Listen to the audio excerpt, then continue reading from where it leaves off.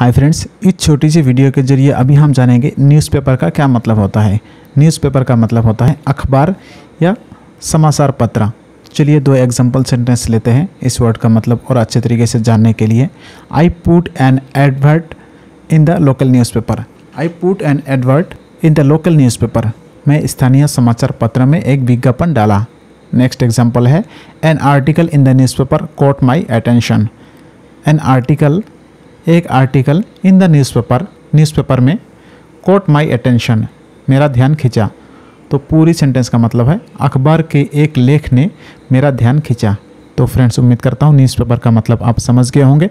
Friends अगर आप आसान तरीके से इंग्लिश में बात करना सीखना चाहते हैं डिस्क्रिप्शन बॉक्स में दिया गया चैनल को आप सब्सक्राइब कर सकते हैं। वीडियो अच्छा लगा तो वीडियो को लाइक करें और साथ साथ चैनल को सब्सक्राइब करना ना भूलें। धन्यवाद।